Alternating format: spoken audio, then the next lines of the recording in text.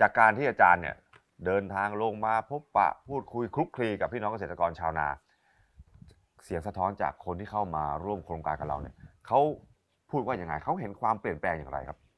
คือคือจากเดิมมุมมองของพวกเราเนี่ยในในสมาคมพัฒนาเศรษฐกิจเนี่ยเราก็มองอยู่แล้วว่าถ้าเราเอางบกระจายแบบเหวี่ยงแหเนี่ยมันก็ถูกเป้าบ้างไม่ถูกเป้าบ้าง เพราะฉะนั้นสมาคมเนี่ยก็ลงเซอร์เวยก่อน ครับลงเซอร์เวยก่อนว่ากลุ่มไหนเนี่ยเป็นนักรักนักพัฒนาอืมคือรักสิ่งแวดล้อมรักสุขภาพนี่ครับนักรัก นักครับพัฒนาก็คือพัฒนาองค์กรให้เป็นเป็นองค์กร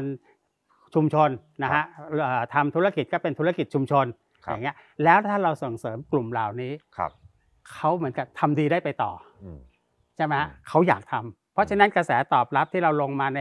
มันมันถูกกับเป้าหมายกันเงี้ยครับเขาเขายินดีอยู่แล้ว เมื่อกี้ที่ประชุมกันทุกคนก็เห็นด้วยมว่าเอาม นะฮะว่าเอาจะจะทำกันครับผมอันนี้อันนี้มันเป็นนิมิตหมายว่าว่า เออ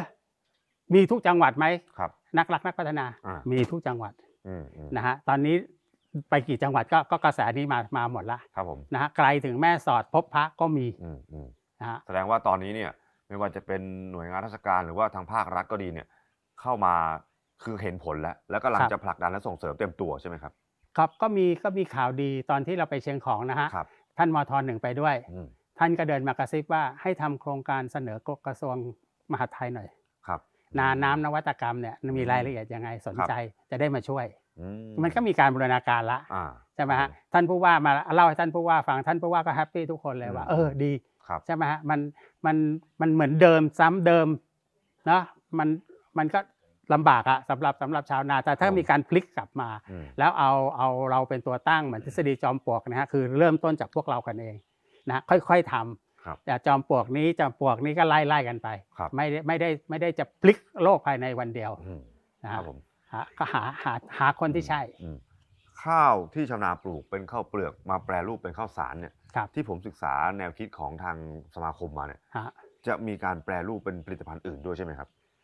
เอ่อเริ่มต้นใช่ฮะเราจะต้องแปลรูปเป็นข้าวสารเนื่องจากปริมาณของข้าวเราเยอะอ่า นะฮะแต่ยกตัวอย่างอย่างเช่น อย่างเช่นที่เชียงของเนี่ยเอ่อมีฝีมือในการทำทำผมเรียกสายเกแล้วกันนะ อ่าได้ได้คือสุราพื้นบ้านพูดเลยสุราพื้นบ้านสุราอ่พื้นบ้านทุกเขามีเป็นควาที่มยอมรัสาบมารถอ่านะฮะวันที่ไปเนี่ยครับ เสร็จจากงานน่ะท่านผู้ใหญ่บ้านก็เชิญไปชิมสุราพื้นบ้าน ผมก็ได้ชิมผมก็ได้ชิมอ่าอ่าได้อ่าจะรสชาติใช้ได้ผมครับมองว่าในอนาคตเนี่ยเอ่อ